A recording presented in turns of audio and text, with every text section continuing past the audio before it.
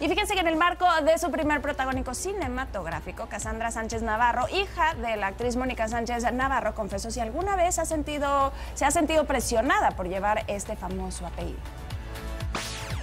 Cassandra Sánchez Navarro llegará pronto a la pantalla grande con una comedia titulada Cindy la Regia, una divertida historia de una chica millonaria y regiomontana quien decide mudarse a la Ciudad de México. Sin embargo, jamás se llegó a imaginar todo lo que viviría en la capital. Tengo mi primer protagonista que se llama Cindy la Regia. Eso va a estar increíble, eso sale en enero, espero que eso sí les guste un montón.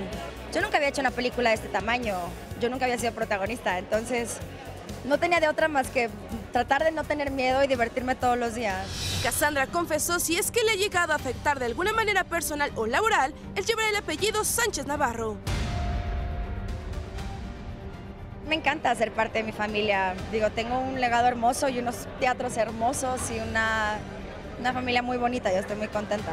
Me causa presión, ¿no? Tengo que ser mejor, tengo que estudiar más, tengo que estar más preparada para que nunca sea el, pues por su nombre, ¿me entiendes? Que me juzguen por lo que yo soy y porque sí, por lo,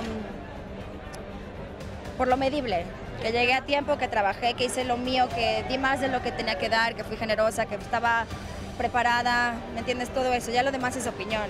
La actriz espera que poco a poco se le vayan abriendo más oportunidades laborales en México, pues no quiere conquistar el mercado del entretenimiento tal y como lo hizo su familia. Espero que sea otra faceta de mi, de mi de mis posibilidades y capacidades como actriz y que nada más me abra más puertas, a que más gente quiera trabajar conmigo. Amo México, amo mi país, me ha dado todo. Aquí están todas mis generaciones también que han hecho esto conmigo. Este, no es como que lo veo como, ay, ¿sabes? Hollywood, yo veo el, el arte y el cine y el teatro mexicano como, ¿sabes? Estos directores y productores mexicanos que cada vez están haciendo cosas mejores y mejores. Entonces, pues no, yo, yo veo nada más la capacidad de crecer.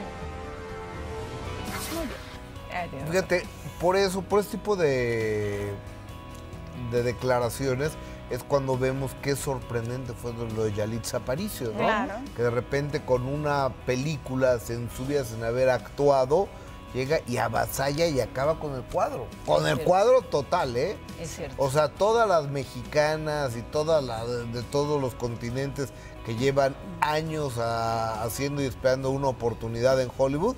Y Alitza, desde la colonia Roma de la Ciudad de México, lo conquistó. Ay, desde Tlaxiaco le mandamos un saludo ya a Oaxaca. De primera mano, lunes a viernes 12 del día, participa en Imagen Televisión.